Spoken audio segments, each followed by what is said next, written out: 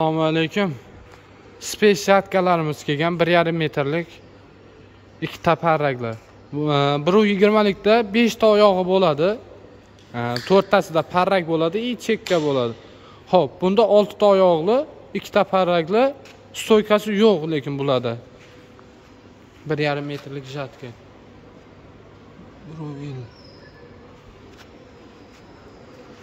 o'zini заводской shiroki ballonlaridan ключ yashiklari bor motorlari bir yuz yetmish yetti to'qqiz ot kuchiga ega motordan harakat remen orqali o'tadi bularda.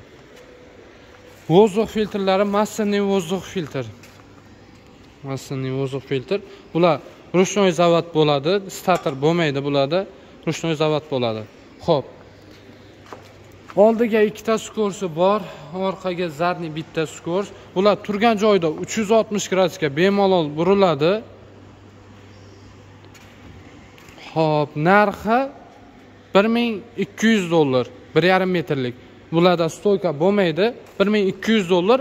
Stoykalik varianti bo'ladigan bo'lsa bir ming bir yuz ellik dollar 120 lik stoykalik variantda.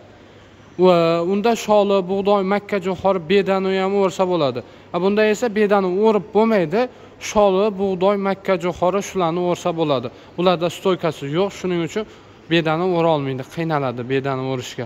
Buni narxi bir ming ikki yuz dollar beda o'radigan space narxi bir ming bir yuz ellik dollar. Skladimiz toshkentda sobir rahim do'mbrobodda telefon nomerlarimiz to'qson to'rtlik bir yuz qirq nol sakkiz nol sakkiz to'qson yettilik besh yuz oltmish yetmish olti ellik uch.